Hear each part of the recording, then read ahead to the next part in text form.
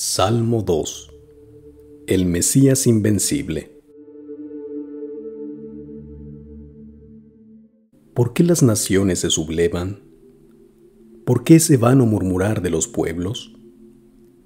Los reyes de la tierra se levantan, los magnates forman una liga y conspiran en contra del Señor y de su ungido diciendo, Hagamos pedazos sus cadenas, sacudamos su yugo de nosotros mas el que reina en el cielo se ríe.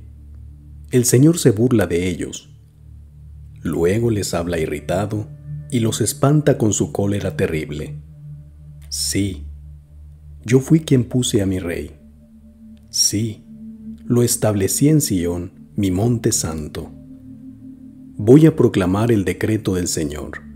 Él me ha dicho, Tú eres mi hijo, yo te he engendrado hoy.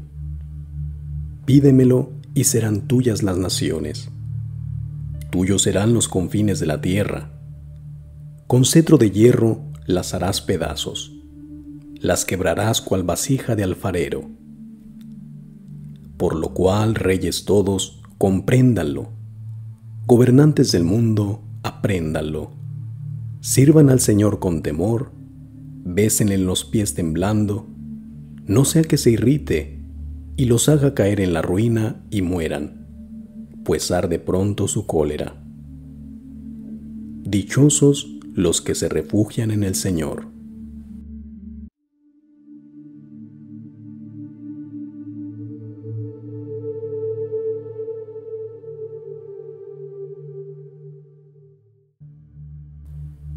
El Salmo 2 es un salmo real.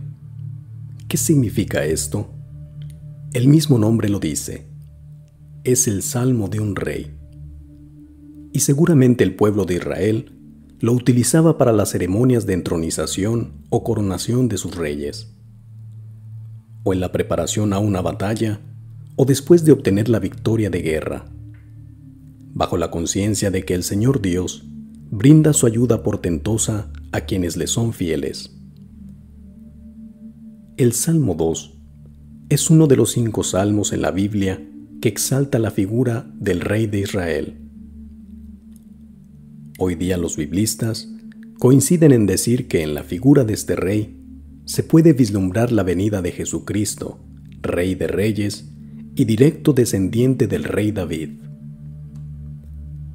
La diferencia está en que Jesucristo es rey, no como los del Antiguo Testamento, ni siquiera como los de este mundo, porque no viene a competir con ningún rey o primer mandatario de la tierra.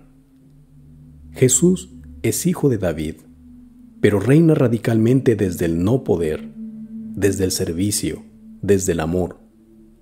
Jesús es un rey que se identifica con el pobre, con el que sufre, con el excluido.